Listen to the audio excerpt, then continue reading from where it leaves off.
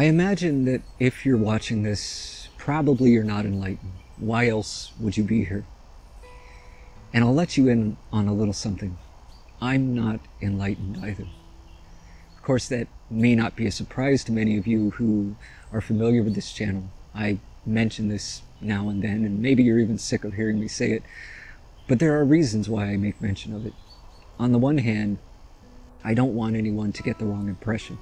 There are some who, from time to time, get that impression, maybe because of my demeanor or because of some of the things I talk about or the way in which I talk about them. And due to whatever we might imagine enlightenment to mean or what we imagine it looks like, we can easily project that onto others. So I try to be clear about this just so that there's no confusion. There are also some who seem to get the impression that I'm pretending to be enlightened, that I'm trying to give that impression to others.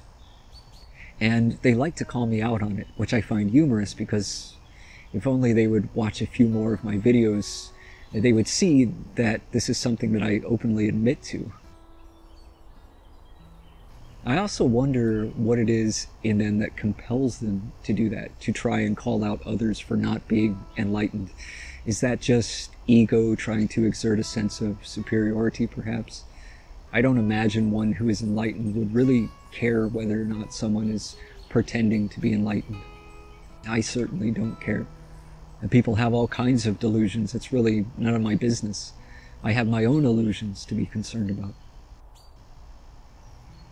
But I also make mention of this because we can sometimes get the sense that there's something wrong with not being enlightened, perhaps even something shameful.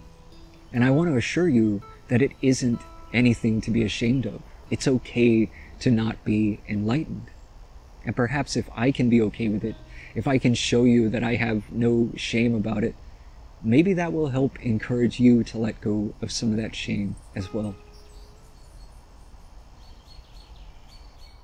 Now, what does it even mean to be enlightened? This is something that you won't find me talking about very often. I feel that I should try to only speak within the realm of my experience and perception. And as someone not yet enlightened, there's really nothing that I can say about enlightenment that isn't speculation or secondhand information. I do like to think that I have a pretty clear and accurate understanding of what it means, having listened to so many who I can only assume are enlightened. But this is a conceptual understanding, which means it's limited. It's just something put together from all those bits of information that I've collected over the years. But we might have all kinds of ideas as to what that word refers to, and we might also prefer some other term like awakened or self-realized or whatever other term there might be. And depending on our own understanding of that word, it likely seems like something worth aspiring for.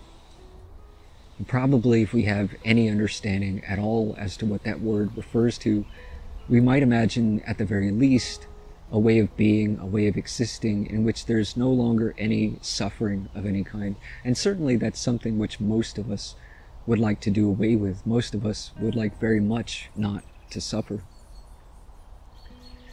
We might see that being unenlightened comes with all kinds of suffering, all kinds of anxiety and agitation, frustration, depression, loneliness, restlessness, and so on. And we don't like those things. We would like to be rid of all that. We would much prefer to be enlightened so that we wouldn't have to experience these things. And because these things are so unsettling, uncomfortable, disturbing, we often seek to avoid or escape them. And we might do this through all sorts of means by distracting ourselves with various activities and entertainment, by engaging in pleasurable activities, by acquiring things, by taking some intoxication and so on. There's so many ways that we try to avoid suffering. And for those on the spiritual path, we may see enlightenment as the ultimate escape all those other means are quite temporary, and perhaps enlightenment is permanent, a permanent end to our suffering. And there can be some desperation in this depending on the level of suffering. We can become quite desperate for enlightenment. Some people even go so far as to simply delude themselves into believing that they're enlightened because they just can't deal with the suffering anymore.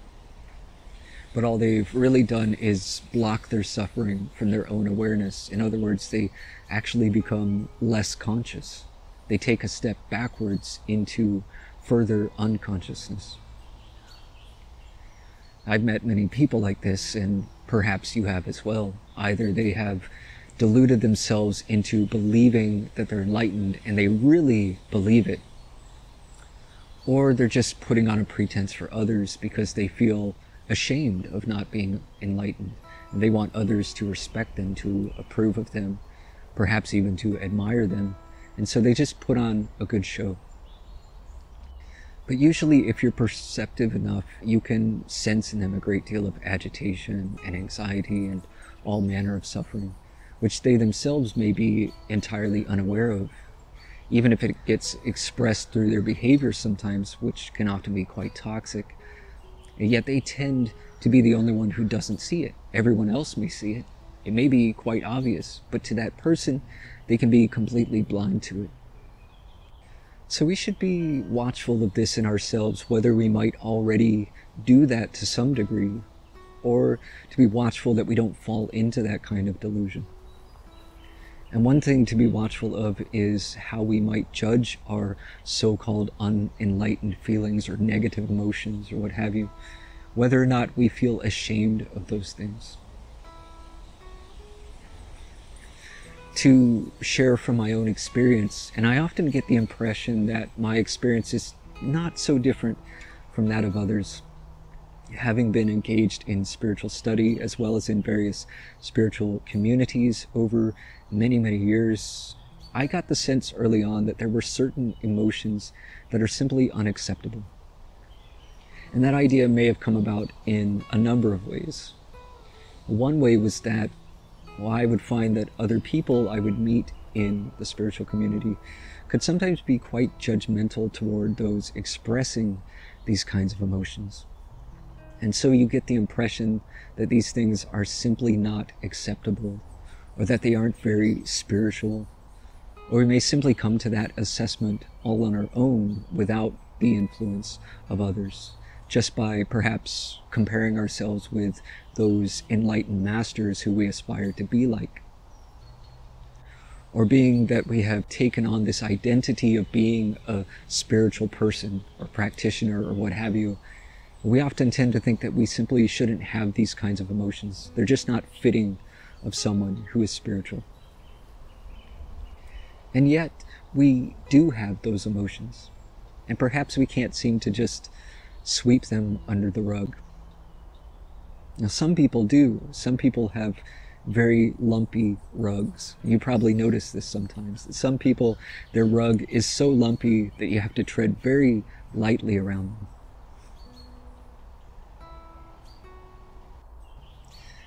As I said before, we may just be so desperate to get rid of all of that that we try to push it all out of the way so that we don't have to deal with it.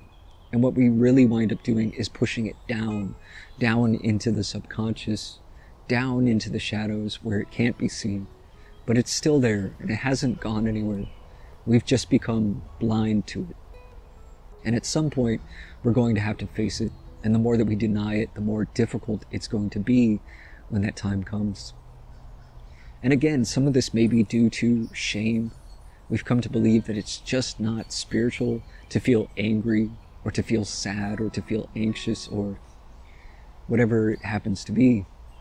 And so we try to hide these things even from ourselves sometimes. But these emotions are very natural. It's very natural to feel these things. And we all experience these things from time to time, to some degree or another. It's all a part of this human experience. And it seems to me that as long as we have this sense of self, this sense of individual personhood, that there's always going to be some degree of suffering. And so it's nothing to be ashamed of, nor is it something to be avoided. In fact, it can't be avoided, not forever anyway. At some point, you'll have to acknowledge it and to face it. You can, of course, try to go on avoiding it, and you'll find in time that neither shame nor avoidance will do anything to resolve these feelings. In fact, oftentimes it just gets in the way. It actually prevents us from resolving these things in ourselves. It inhibits our awakening. So, really, we have to come to accept these things, not to be ashamed of them, not to be ashamed of not being enlightened, but to accept that we currently are not enlightened and that there's absolutely nothing at all shameful about that. And suppose that what is required to be enlightened is to first accept that one is not enlightened. That is to fully accept all that comes along with simply being human to accept all these unsettling emotions, to accept all of these perceived flaws and imperfections, to accept all of these things without any shame or resistance. Now, again, as I said in the beginning, all I can say about enlightenment is whatever I have heard from those who I can only assume to be enlightened. But it seems, as far as I can discern, that enlightenment is very much about accepting things just as they are, being in a space of total acceptance. But I can also say from my own experience that the more I come to accept things as they are, the less I feel disturbed. That is, the less I tend to suffer. But for some of us, the first thing we have to accept is the fact that there are many things that we don't accept. And in that way, we create all kinds of unnecessary suffering for ourselves. We create all kinds of agitation and anxiety and so on. And even that we might refuse to accept. So perhaps what is needed to get things moving in the right direction is to accept the fact that we feel this way, to accept all of these unpleasant emotions, not to deny any of it, not to pretend otherwise, and certainly not to delude ourselves into a false state of enlightenment. One thing that has been very helpful to me is just to explore this desire for enlightenment, to ask oneself the question, why do I want to be enlightened? And you might come up with all kinds of answers. But however you look at it, what it really comes down to is that we want to be free from suffering. And so you begin to look at your suffering. You go into that and explore it. What is it? Where does it arise from? And what I have found is that suffering always seems to be some form of resistance. Whatever form suffering shows up as, whether it's anxiety or anger or sadness or whatever it happens to be, that in some way or another, there's something that I'm resisting. Either I'm resisting something which is occurring right here in this moment, or more often than not, I'm resisting something that I'm imagining, something that happened in the past, or something that I imagine might happen in the future. And in that way, I'm also resisting this present moment. I'm unable to be fully attentive to this moment because I'm off someplace in my imagination. But however you look at it, our suffering always seems to be some form of resistance. And don't simply take my word for it. Look at your own suffering. Follow it all the way down to its root and see if this is true. See what it is that you might be resisting. Now, coming back to this desire for enlightenment, what that is, in as far as I can tell, is that we simply want to be free from suffering. And it's quite natural, quite reasonable that we should want this because suffering is very unpleasant. But see if you can look at it another way. Is this desire for enlightenment also a form of resistance? Is our seeking to be free from suffering resistance to suffering? And if suffering is itself a form of resistance, what happens when we bring more resistance to that? Could it be that our desperation to be enlightened is actually causing us additional suffering? In other words, could our desiring and striving for enlightenment be getting in the way of actually being enlightened? I wonder if we can give that up, if we can just give up the desire to be enlightened altogether and just fully accept where we are, and everything that comes along with that, including whatever suffering we've been experiencing. What would happen if we just surrendered fully to this moment without any desire for any of that to change, just total acceptance?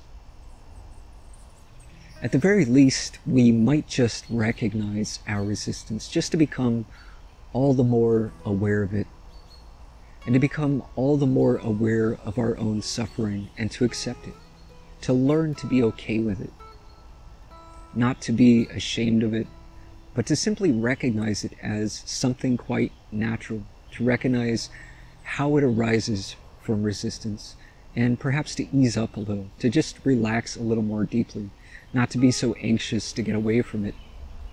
But see if you can just be with it and relax with it. And rather than be ashamed of it, to have compassion and understanding for ourselves. Not to be so hard on ourselves about it. Not to be so hard on ourselves for being unenlightened. But to be gentle with ourselves, to be patient with ourselves, to be more accepting of ourselves just as we currently are in this moment.